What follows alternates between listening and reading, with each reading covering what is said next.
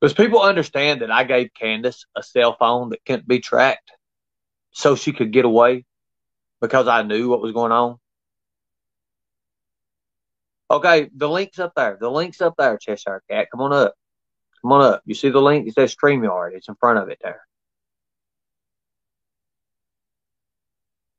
There's a reason I gave her that cell phone. There's a reason I gave her that phone.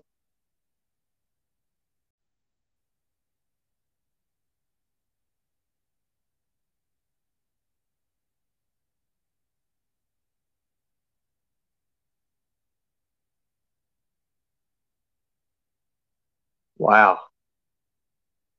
How many people remember me talking about giving her a phone? I gave her a phone so she could get out of everything because the phone she had was bugged. Her phone was bugged. Everybody knew everywhere she was going. I went and bought a new phone and gave it to her.